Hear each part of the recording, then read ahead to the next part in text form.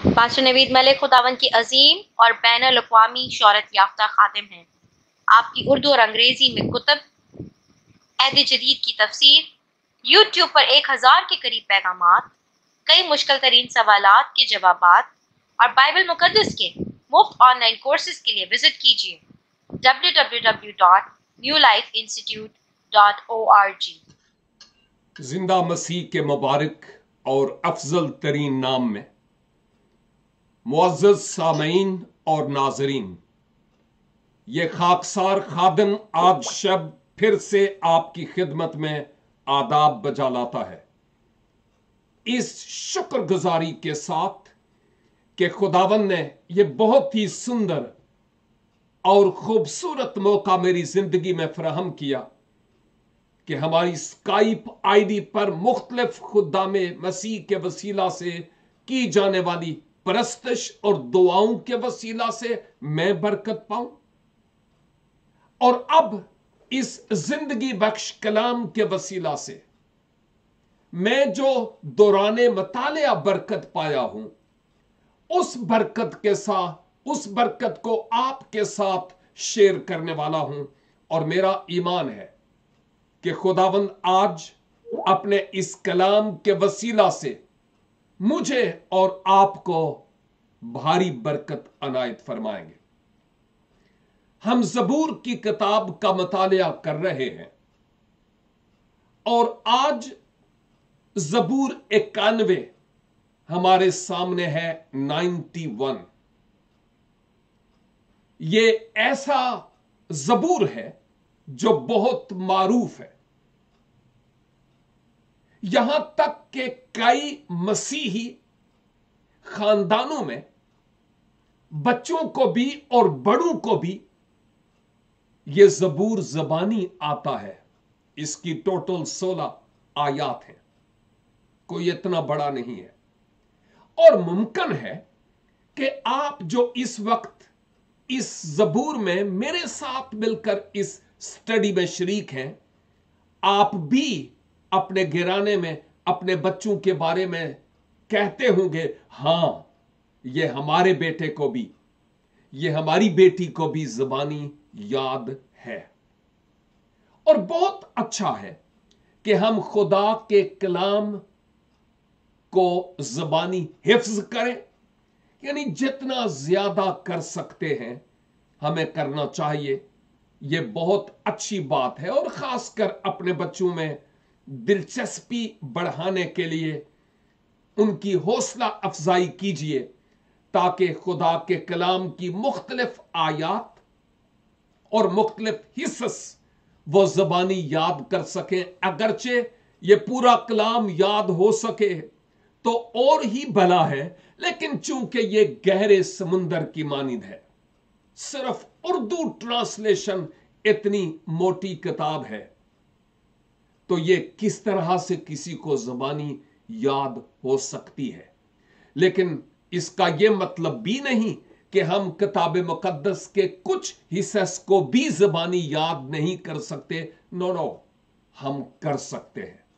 इसलिए अपने बच्चों पर तवज्जो दीजिए और हम जो बड़े बच्चे हैं, अगर मुमकिन हो, हम भी अगर इन आयात को और खुदा के कलाम के मुख्तलिफ़ हिस्स को जबानी याद करें तो हमारे लिए भी और हमारे घराने के लिए भी यह बरकत का सबब होगा। जबूर इक्यानवे, जैसे मैंने पहले कहा, बहुत मारूफ है। और आज तो मैं ग्यारह आयत से लेके सोलह आयात तक आपके साथ मिलकर सीखूँगा, क्योंकि पहली दस आयात पर हम एक और खुदावन के खादिम के वसीला से ऑलरेडी सीख चुके हैं। लेकिन चूँकि आप में से कई जो फेसबुक के कई पेजेस पर या यूट्यूब पर या व्हाट्सएप में नए चेहरे हैं, इसलिए आपकी खिदमत में यह ज़रूर अर्ज़ करता चलूँ कि इस जबूर इक्यानवे के ऊपर कोई टाइटल नहीं है कि इस जबूर का मुसन्फ कौन है, यानी इंट्रो नहीं है। अगरचे एक मेन टॉपिक दिया गया है कुछ बाइबल मुकदस के तराजम में, लेकिन हर एक में नहीं है। लेकिन खैर, ये कोई बड़ी बात नहीं। लेकिन किसने लिखा? यह बात ऐसी है जो इतनी ज़्यादा पहचानी या जानी नहीं जाती। लेकिन दो ख्याल ऐसे हैं। यहूदी रवायात के मुताबिक यह समझा जाता है कि जो जबूर बिन टाइटल के हो, अगर उससे पहले वाला जो जबूर है, उसके ऊपर कोई टाइटल हो तो इसका मतलब यह है कि ये अगला जबूर जिस पर कोई टाइटल नहीं कि ये किसने लिखा, वो भी उसी ने लिखा है जो पहले ने लिखा। तो अगर हम नब्बे जबूर को देखें तो इसमें यही है, मर्द खुदा मूसा की दुआ। तो इसका मतलब यह हुआ कि इक्यानवे जबूर भी बुज़ुर्ग मूसा का ही मशकील की सूरत में, गीत की सूरत में तहरीर शुदा है। लेकिन पॉसिबल है कि चूँकि इसमें सिपर और ढाल की बात है और बहुत कुछ और ऐसी बातें हमें नज़र आती हैं, जिससे कुछ ओलामा यह भी सोचते हैं कि मुमकिन है कि यह बुज़ुर्ग दाऊद ने कंपोज किया हो। लिखा मूसा ने और बुज़ुर्ग दाऊद ने मुमकिन है कि इसको कंपोज किया हो। यह दो मुख्तलिफ़ ख्याल ओलामा से हमें मिलते हैं। लेकिन एनी हाउ इस बात से किसी को कोई इनकार नहीं कि यह जबूर रूअल कुद्स की तहरीक से इंसानी मुसन्फ कोई ही क्यों ना हो, रूअल कुद्स की तहरीक से लिखा गया, मेरी हौसला अफजाई के लिए और आपकी हौसला अफजाई के लिए। एक और बात जब हम जबूर इक्यानवे को देखते हैं तो इससे पहले नब्बे जबूर। और आप जो हमारे साथ इन बाइबल स्टडीज़ में शरीक थे, इस नब्बे जबूर में हमें कुछ नाउमीदी सी नज़र आती है, और वो ज़्यादातर मौत का हमें ज़िक्र नज़र आता है। घास सूख जाती है, फना हो जाते हैं, गुजर जाते हैं इंसान की मशक्कत गम पैदा करती है और बहुत कुछ और जिसका ताल्लुक मौत और मौत और मौत से है। लेकिन जब हम जबूर इक्यानवे को देखते हैं तो इसमें हमें हयात या ज़िंदगी की एक उम्मीद की किरण नज़र आती है। लिहाजा नब्बे और इक्यानवे दोनों को मलहूज खातर रखना बहुत ज़रूरी है। हमारे एक खादिम, यानी खुदाबंद के खादम, हमारे हम खिदमत साथी कराची में खुदाबंद में सो गए। जैकब उनका नाम था।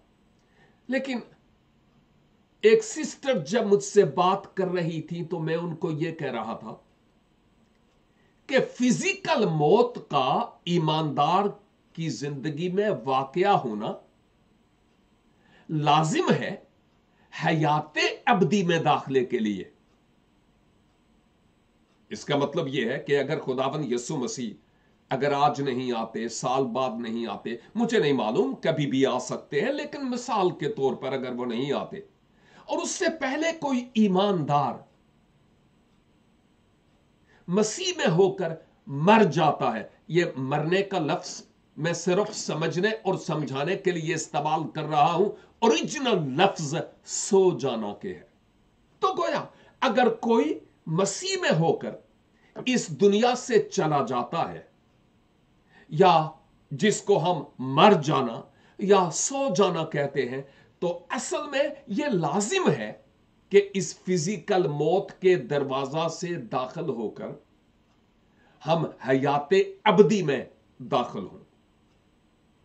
तो यही बात हम जबूर नब्बे में मौत और इक्यानवे में गोया हम ज़िंदगी के हाल को देखते हैं। जो इब्रानी मतन है, उसमें भी इस पर कोई यानी उन्मान या कोई टेक्स्ट नहीं है। कि ये किस ने लिखा है। लेकिन है, ये बहुत ही मारूफ, बहुत ही खूबसूरत और बहुत ही अहम तरीन जबूर। और इसके साथ साथ जो खुदा के लोग हैं, खुदा के लोगों के लिए, यानी मुकदसीन के लिए यह एक निहायत ही खुशी का और मसरत का गीत है। बात यह हो रही है कि यह जबूर मुकदसीन के लिए भी निहायत खुशी का गीत और निहायत खुशी का जबूर है। और खुदा की हजूरी में रहने वाले मुकदसीन और ईमानदारों की ये एक बड़ी खूबसूरत आवाज़ है जो यहाँ हमें नज़र आती है। ईमानदार का खुदा पर भरोसा और खुदा पर तवक्ल की बात हमें नज़र आती है इस पूरे इक्यानवे जबूर में। बहुत कुछ सीखा गया इससे पेशतर। पहली दस आयात में, आज ग्यारह आयत से हम शुरू करेंगे। और मेरा ईमान है कि जैसे पहले आप बरकत पाते चले आ रहे हैं, आज भी इन आयात के वसीला से हम खूब बरकत पाएँगे। आयत 11 और 12 दोनों आयात को मैं तलावत किए देता हूँ, जहाँ पर लिखा है, क्योंकि वो तेरी बाबत अपने फरिश्तों को हुक्म देगा कि तेरी सब राहों में तेरी हिफाजत करें। वो तुझे अपने हाथों पर उठा लेंगे ताकि ऐसा ना हो कि तेरे पाँव को पत्थर से ठेस लगे। ये दो आयात बहुत मारूफ आयात हैं, यानी ग्यारह और बारह, जो मैंने आपकी खिदमत में तलावत की है। यूँ तो यूँ कहूँगा कि इन आयात में यह याद करवाया जा रहा है इंसानी मुसन्फ के ज़रिया सा। इंसानी मुसन्फ के ज़रिया से कि खुदा के बंदे या खुदा की बंदी। खुदा का बंदा होना और बंदी होना। खुदा के खुदाम होना यह बहुत बहुत बहुत बड़ी प्रिविलेज और आजाज है। बहुत बड़ी इज़्ज़त की बात है। खुदा के बंदे होना। मुकद्दस पौलूस जब अपना तारफ करवाते हैं तो वो अपने आप को एक रसूल और मसीह का बंदा कहकर अपना तारफ करवाते हैं, हालाँकि वो रसूल आज़म हैं। तो इन आयात में हम देखते हैं कि जब खुदा के लोग मुश्किलात और दुखों और तकालीफ से दो चार होते हैं तो खुदा अपने बंदा बुज़ुर्ग मूसा या दाऊद के ज़रिया से, जो कोई भी इंसानी मुसनफ है, उसके ज़रिया से यह याद करवाते हैं कि जब तुम मुश्किल वक्त से और अदवार से गुजरोगे तो उस मुश्किल घड़ी में खुदा। तुम्हें बचाने के लिए, बशर्ते कि तुम खुदा के हो। तुम्हें बचाने के लिए अपने फरिश्तों को भेजेगा तो इसका मतलब यह है कि जब हम आजमाइश और मुश्किल में होंगे नहीं, जब मैं और आप आजमाइश और मुश्किलात में हूँ जब भी।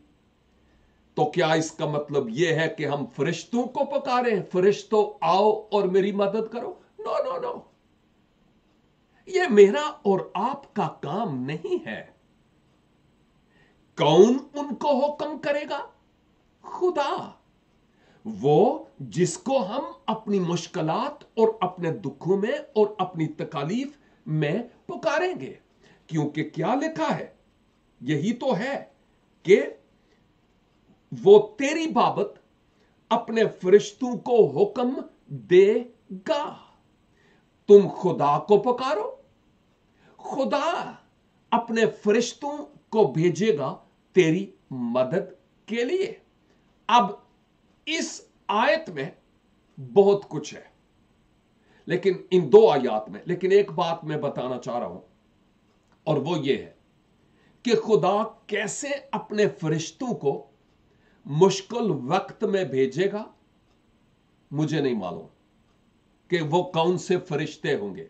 लेकिन एक बात मैं ज़रूर कहूँगा कि अगर आपको परों वाले फरिश्ते मिलें या ना मिलें,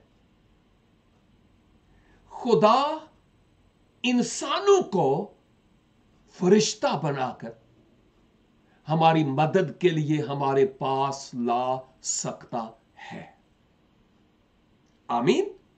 और आप में से और इवन में अपनी ज़िंदगी से कई ऐसे मोजात बता सकता हूँ। इवन अभी अभी आप कई गवाहियाँ दे सकते हैं। काश के मैं सुन पाऊँ, लेकिन टाइम नहीं है।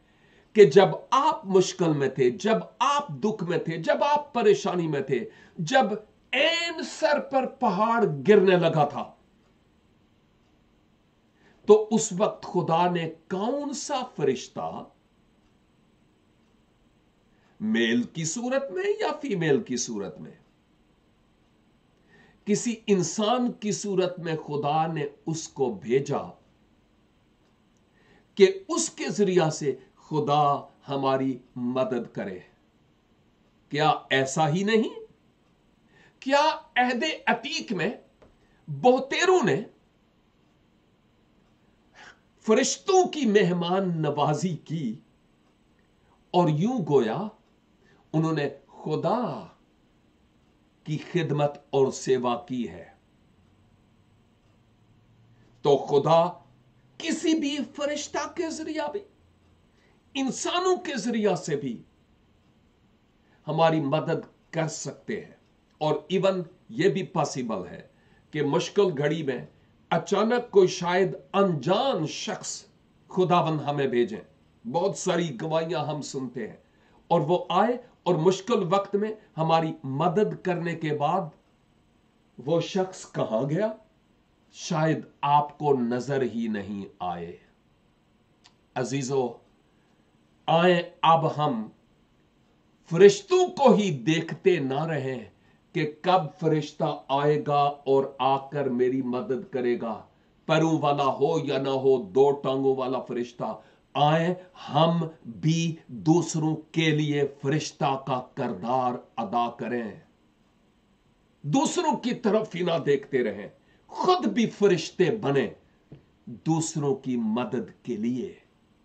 क्योंकि इसी मकसद के लिए तो खुदा ने हमें रखा है। वो फरिश्तों को हुक्म देगा तो फिर क्या होगा? इसलिए हुक्म देगा कि वो तेरी सब राहों में तेरी हिफाजत करें, तुझे बचाएँ, छुड़ाएँ, संभालें, प्रोटेक्ट करें। और कोई तेरा नुकसान ना हो, तुझे कोई जरर ना पहुँचे। और इवन यहाँ तक कि वो फरिश्ते आपको अपने हाथों पर उठा लेंगे, ताकि ऐसा ना हो कि आपके पाँव को पत्थर से ठेस लगे। यूँ फरिश्ते आपको उठा लेंगे। अब एक बात जो मैं करना चाहता हूँ वो ये, शायद आप में से कई किसी रोड एक्सीडेंट्स में यूँ बचे, ओए, कि जैसे किसी ने उठा लिया मुझे। आपकी गवाहियाँ होंगी। या कोई बड़ा तूफ़ान आ रहा था। तूफ़ान तूफ़ान ही होता है।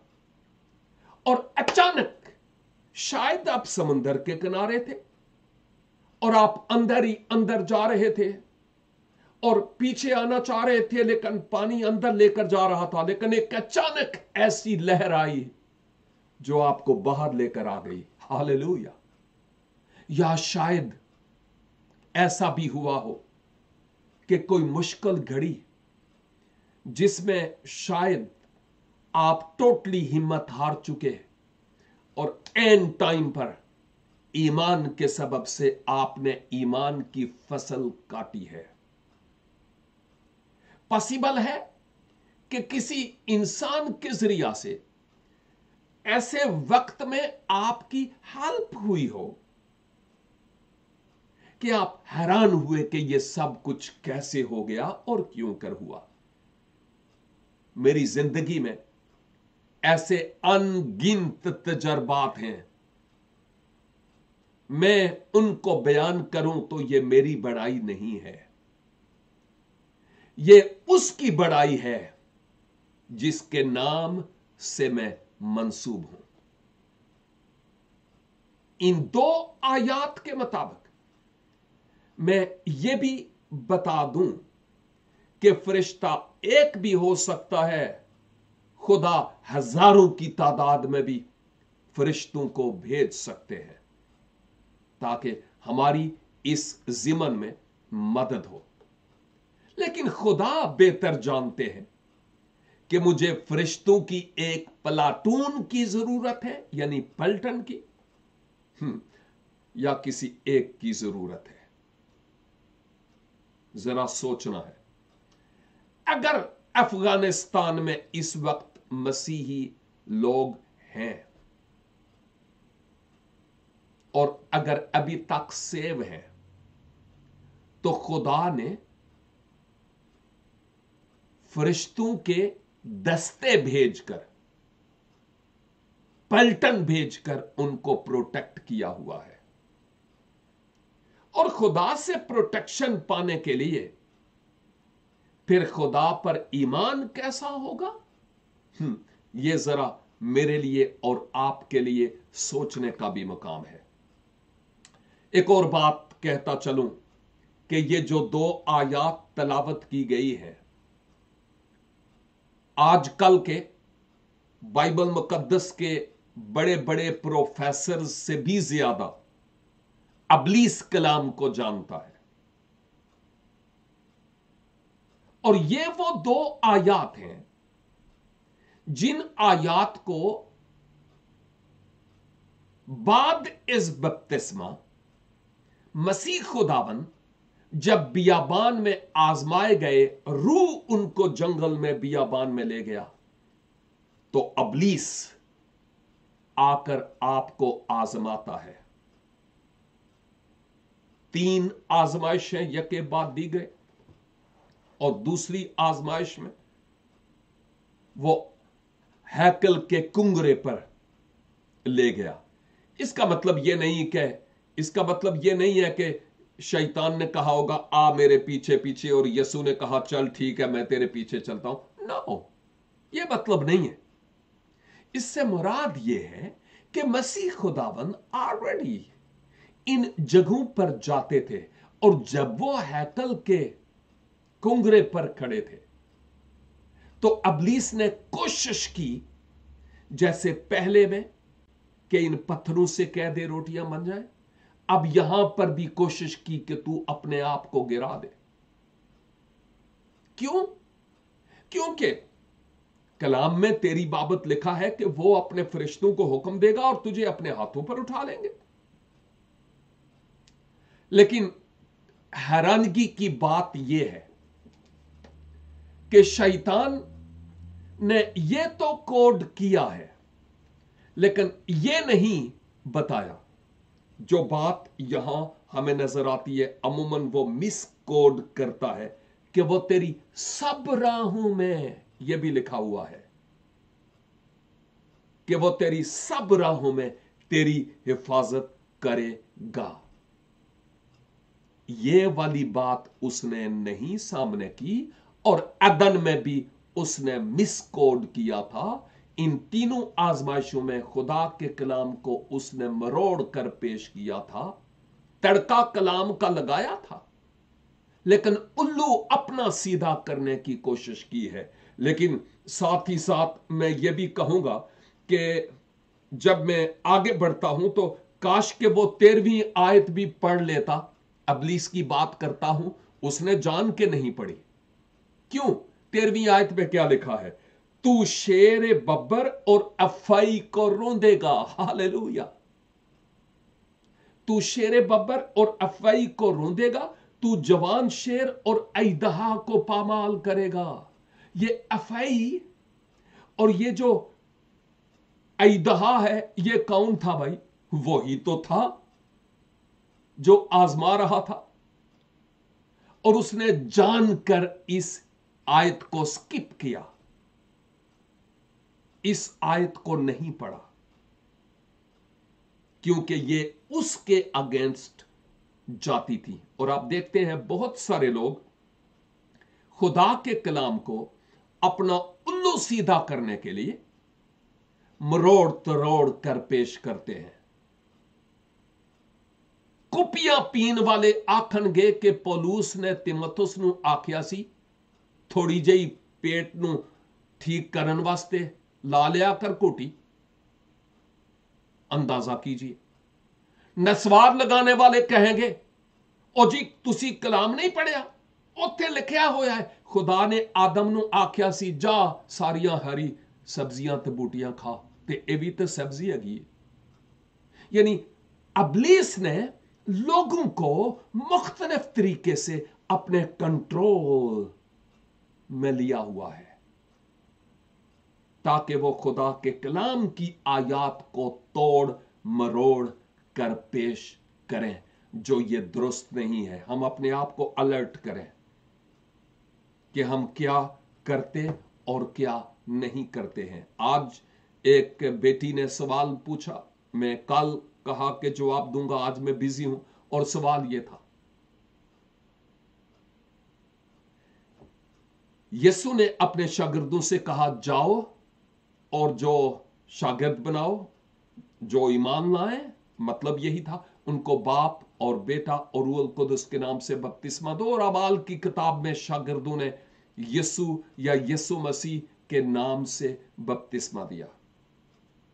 बाप और बेटा और कुदस के नाम से क्यों नहीं?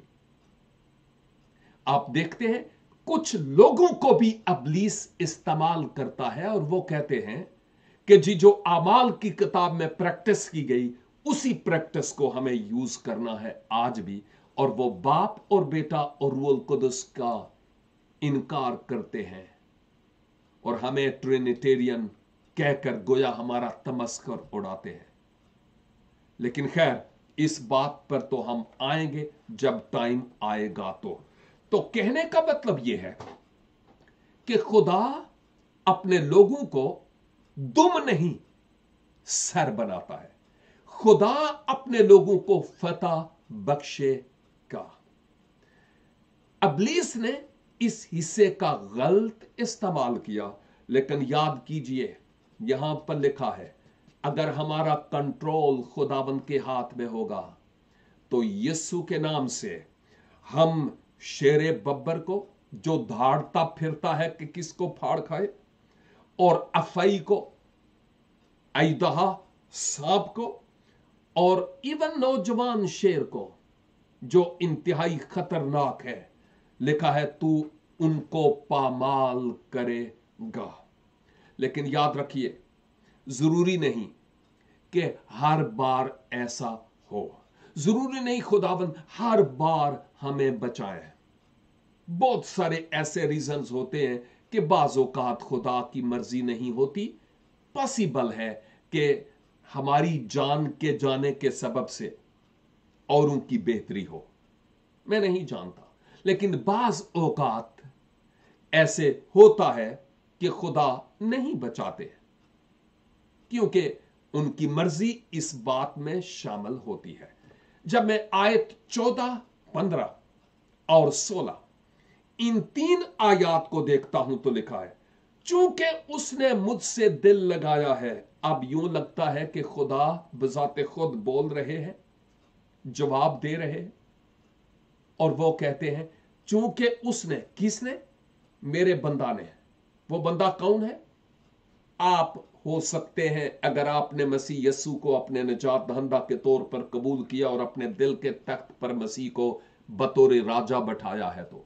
मैं हूँ और हो सकता आप तमाम नाजरीन और सामीन हो सकते हैं। जिसकी बाबत यह लिखा है, चूँकि उसने मुझसे दिल लगाया है। और याद कीजिए यह बात जो अगला हिस्सा है, इसलिए मैं उसे छुड़ाऊँगा। छुड़ाया कब जाऊँगा? जब मेरा दिल खुदा से लगा हो। सोचना है कि मेरा दिल किधरे होरते नहीं लगया। सोचें, अगर दिल खुदा से लगा है, खुदा अपनी मर्ज़ी को मेरी और आपकी ज़िंदगी में पूरा करेंगे। और वो ऐसे शख्स को मुश्किल के वक्त छोड़ाएँगे भी। ये बात है जो यहाँ हम खुदा के कलाम में देखते हैं। और क्या लिखा है? मैं क्या करूँगा यहाँ जो खुदा करेंगे अपने लोगों के लिए? उस सब कुछ की एक तवील और बड़ी फरिस्त है। मैं उसे सरफराज करूँगा। सर फराज सर यही सर है। फराज के माना ऊँचा या बुलंद, निशेबो फराज। सरफराज यानी सर बुलंद, सर ऊँचा करना। मैं उसके सर को ऊँचा करूँगा, दूसरे इर्द गिर्द के लोगों में। उसके सर को मैं बुलंद करूँगा, मैं उसको मकाम और मर्तबा दूँगा। क्योंकि वो मेरा बंदा है, जिसने मुझसे दिल लगाया है। और ये बंदियों के लिए भी बात है, सिर्फ़ बंदों के लिए ही नहीं। आप जो सिस्टर्स बेटियाँ, बहनें, माए, इस कलाम को सुन रही हैं, ये बात आपके लिए भी है। अगर मेरा और आपका दिल खुदावंत से लगा होगा और खुदा की मर्ज़ी हुई, अगर हमने खुदावंत को पकारा तो खुदावंत हमें छुड़ाएँगे भी सरफराज भी करेंगे? क्यों? इसलिए कि हमने पाक रूह की कुदरत से खुदावंद के नाम को पहचाना है।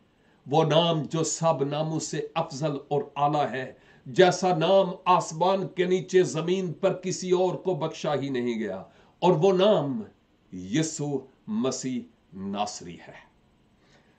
अगली आयत में, पंद्रह आयत में लिखा है, वो मुझे पुकारेगा और मैं उसे जवाब दूँगा। वो मुझे पुकारेगा तो मैं उसे जवाब दूँगा। अफसोस उन लोगों पर कि जब उनके सर पर कोई पहाड़ गिरता है तो फिर ही पुकारते हैं। या उस वक्त भी वो बसाखियों का सहारा लेते फला खादम फला खादम, फला गोरा, फला काला, फला नीला, फला पीला दुआ करेगा, ते मेरा कम बन जाएगा। ओ, नहीं नहीं नहीं नहीं नहीं। हम उस दौर में हैं कि हर ईमानदार शाही काहनू का फिरका है, जो जब जिस वक्त चाहे खुदा के हुजूर जा सकता है। लेकिन मुझे गलत ना समझिएगा कि हम दूसरों को अपनी दुआया दरखास्त नहीं दे सकते। नहीं नहीं नहीं नहीं, ज़रूर दीजिए। ते खुद भी ते कुछ करना चाहिए ना? मेरे कहन का यह मतलब है। सब कुछ दूसरों पर ही छोड़ दें। अपना पेट्रोल ना जाया हुए। दिल लगाएँ खुदाबंद से, ताकि वो हमारी दुआ को सुने और फिर लिखा है, मैं मुसीबत में उसके साथ रहूँगा। याद कीजिए, यहाँ लिखा है, मैं मुसीबत में उसके साथ रहूँगा। यहाँ पर यह नहीं लिखा हुआ कि मुसीबत विचों कड देंगा पॉसिबल है कि खुदा मुसीबत से निकाले भी। पॉसिबल है। यह खुदा की मर्ज़ी पर मबनी है कि वो क्या करते हैं। लेकिन अगर मुसीबत में हम आग की भट्टी में भी हूँ ना तो फिर खुदावन हमें उस आग की भट्टी में इलाजादा की सूरत में बीच में मौजूद होंगे। शेरों की मांद में दो टांगों वाले शेरों की बात करता हूँ। हमें फेंक भी दिया जाए ना। अगर हमारा दिल खुदा से लगा होगा, और अगर खुदा की मर्ज़ी होगी तो शेरों की मांद में भी खुदाबंद हमें महफूज रखेंगे। खुदा ने यह वादा नहीं किया कि इस पहाड़ पर मैं तुम्हें खुद चढ़ा लूँगा नहीं, तू चढ़, लेकिन मैं इस पहाड़ पर चढ़ने के लिए, ले जाने के लिए तुम्हारे साथ हूँगा मंजिल तक पहुँच, हिम्मत बाँध, और मैं तेरे साथ हूँगा किसी ने किसी वक्त कहा, हिम्मत मर्दा, मदद खुदा। हिम्मत बाँध, खुदा मदद करेगा। और अगर हम पस्त हिम्मत हो जाएँ तो फिर वो जो हमारा दुश्मन है ना, वो तालियाँ बजाएगा। बहुत मोहतात होने की ज़रूरत है। और फिर लिखा है, मैं उसे छुड़ाऊँगा और इज़्ज़त बख्शूँगा। वही बात जो पहले हम देख चुके हैं, खुदा रिहाई बख्शेंगे और हमें सरफराज करेंगे, हमारे सर को बुलंद करेंगे। ये यहाँ पर इस हिस्से में हमें नज़र आता है। और आखिरी आयत, मैं उसे उम्र की दराजी से आसूदा करूँगा। तवील उम्र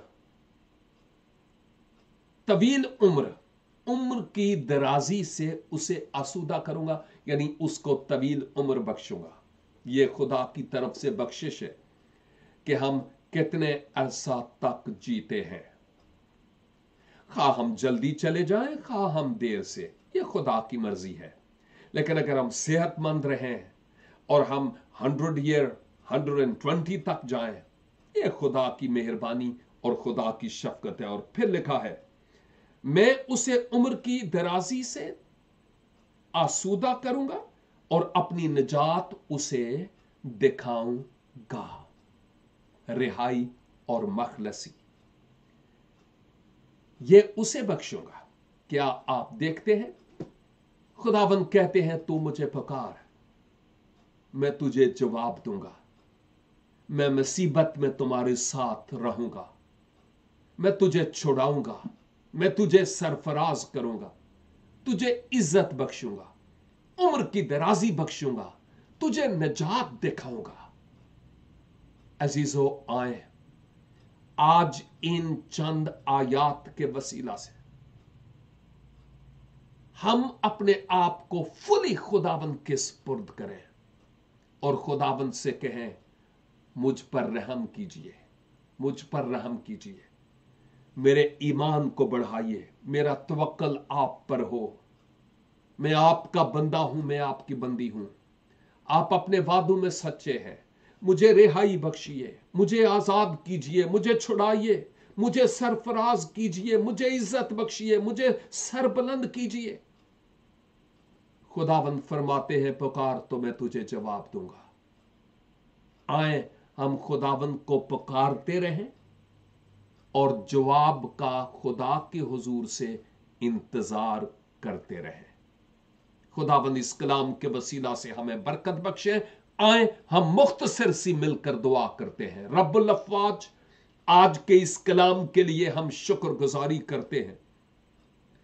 हमारे ईमान को इस तरह बढ़ाइए कि हालात खा कैसे ही क्यों ना हम आपकी तरफ़ देखते रहें हमारी तवक्ल और हमारी आस आप पर हो, ताकि आप तमाम बंधनों को तोड़ने वाले और दरवाजों को खोलने वाले हो।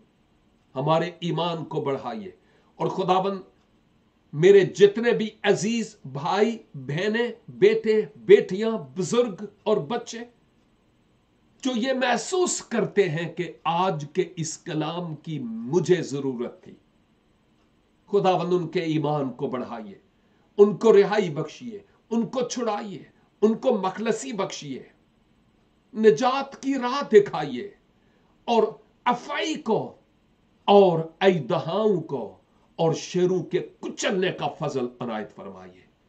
और हर मुश्किल, परेशानी, दुख और तकलीफ़ और बीमारी यस्सु के नाम से उनकी ज़िंदगी से नाबूद हो जाए। और खुदावन उनकी ज़िंदगी की किताब का एक नया बाब खुले। हमारी दुआ को सुनिए और कबूल कीजिए। मसीह खुदाबंद के वसीले से हम ये दुआ मांगते हैं। आमीन एन आमीन। खुदाबंद आप सबको बरकत बख्शे। फिर मिलेंगे जब खुदाबंद की मर्ज़ी हुई, तब तक के लिए खुदाबंद की ईमान में रहें। एमें